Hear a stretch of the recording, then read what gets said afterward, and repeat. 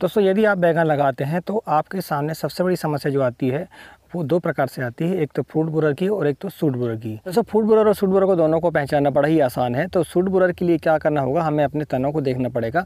अचानक जो है, तना हमारा मुरझाकर सूख जाता है या पत्तियाँ जो है मुरझाकर अचानक सूख जाती हैं। तो हम देखें उसमें कि तने को जब हम काटते हैं और काटने के बाद जिस जगह से सूखा है वो, वहाँ पर अच्छे ध्यान से देखेंगे तो एक छेद होता है वहाँ पर और छेद के अंदर हम देखेंगे वहाँ पर तो एक हमें इल्ली मिलती है। वो होती है स्टाम बोरर दोस्तों, स्टाम बोरर में क्या होता है कि एक मक्खी होती है, जो मक्खी जो है हमारे तने के अंदर जो है अंडा दे देती है, वही अंडा धीरे धीरे बड़ा होकर जो है, वो पूरे स्टाम को खोखला कर देता है और एक समय ऐसा आता है कि वो तना वहीं से ख़राब हो जाता है और सूख कर गिर जाता है। फिर वह इल्ली नीचे गिरती है ज़मीन पर और फिर कोसावस्था में चली जाती है और कोसावस्था में जाने के बाद फिर वही इल्ली जो है, फिर से मक्खी का रूप ले लेती है। तो इस टाइप से उसका साइकिल चलते रहता है। तो हमें जो है, अगर स्टाम बोरर या फ़ूड बोरर का कंट्रोल करना है तो हमें उसके तीनों स्टेज पर काम करना होगा। दोस्तों फ़ूड बुरर में वही होता है कि एक मक्खी आती है और हमारे फलों के अंदर अंडा देकर चली जाती है और फिर वही अंडा बड़ा होते रहता है और बड़े होने के बाद जो है इल्ली का रूप ले लेती है और इल्ली पूरे फल को सड़ा के ख़त्म कर देती है और फिर उस फल का कोई मतलब नहीं रह जाता। ना ही उसको हम खा सकते हैं और ना कहीं हम उसको बेच सकते हैं। दोस्तों, वीडियो में आगे बढ़ने से पहले मैं गिवे के बारे में जानकारी देना चाहता हूँ, जो कि एक इलेक्ट्रिक कांटा होगा, जो आपके कीटनाशक हुआ या फंगीसाइड हुआ, इनको तोलने के काम आएगा और इसमें भाग या पार्टिसिपेट लेने के लिए आपको करना क्या होगा, कुछ नहीं। दोस्तों, इस गिवे में पार्टिसिपेट करने के लिए आपको सिर्फ़ अपना नाम कमेंट बॉक्स में लिखना होगा और वीडियो को लाइक करना होगा। दोस्तों, वीडियो को पूरा देखना और वीडियो के आखिरी में बताऊँगा आपको विशेष बात। मैं हूँ राकेश साहू, आप देख रहे हैं एग्रो जीवन बातें किसान की।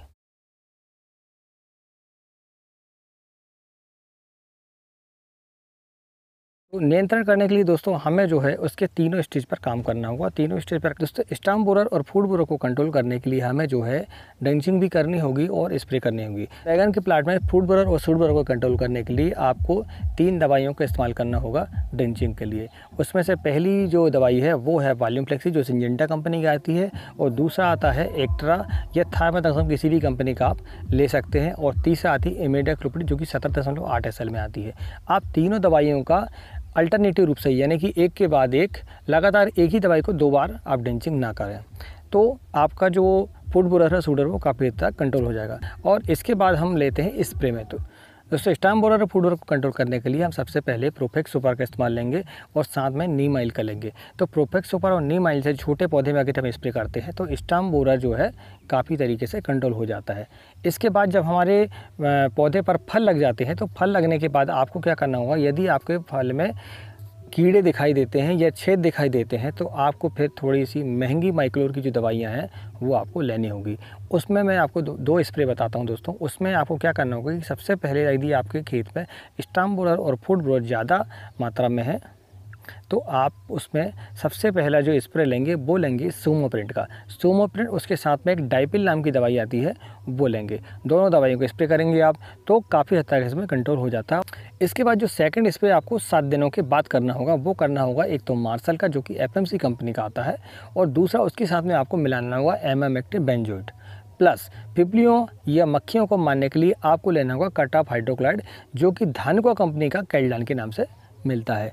तो ये तीनों दवाइयों को आपको एक साथ मिलाकर स्प्रे करना होगा साथ चाहें तो आप कोई भी एक फंगीसाइड ले सकते हैं। तो देव स्प्रे आप करने के बाद जो है आपको लगभग 90 से पंचानवे परसेंट आपको कंट्रोल मिल जाएगा। यदि इसके बाद भी आपको कंट्रोल नहीं मिलता तो आपके पास लास्ट जो दवाई बचती है, वो बचती है स्पाइनोसेट की। आप स्पाइनोसेट का तभी इस्तेमाल करें जब आप ये तीनों दवाइयाँ जो है इस्तेमाल कर चुके हों।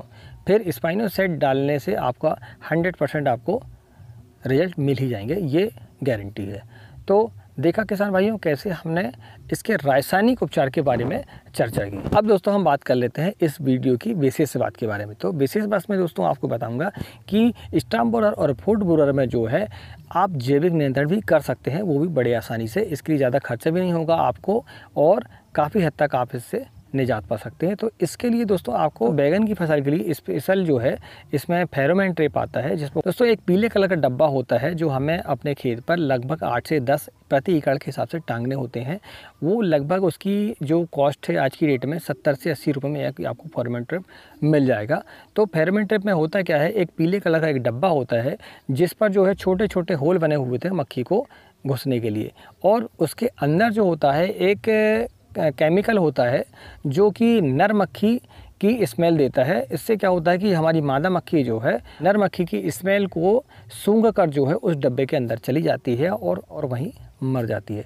तो यदि आपके खेत पर मादा मक्खी कंट्रोल हो गई तो आपको स्टम बोरर और फ़ूड बोरर से 100 परसेंट निजात मिल जाएगी। तो इसलिए यदि जैविक खेती आप करना चाहते हैं तो जैविक खेती के लिए जैविक नियंत्रण फेरोमेंट ट्रैप ही है। और दूसरा नियंत्रण ये है दोस्तों कि जैविक नियंत्रण के लिए आपको अपने खेत पर जो है थोड़ी थोड़ी दूरी पर जो है खूटी बनानी होगी, जो कि टी आकार की होंगी। तो उस पर क्या होगा कि आपके पक्षी आकर बैठेंगे और जो इल्लियाँ होती हैं, उसको बीन बीन कर खा जाएँगे। तो आपके खेतों से जो है इल्लियाँ ख़त्म हो जाएँगी। तो इल्लियाँ ख़त्म होंगी तो आपको प्यूपा स्टेज से जो कोसावस्था में जाने की प्रक्रिया है वो आपकी वहीं पर रुक जाएगी और आपकी जो नर मक्खियाँ या मादा मक्खियाँ हैं, वो फिर से उत्पन्न नहीं हो पाएँगी। तो दोस्तों, देखा कैसे आपने कि हमने आज इस फ़ूड बुरर और सूट बुरर जैसी समस्या के लिए रासायनिक और जैविक नियंत्रण के बारे में चर्चा की।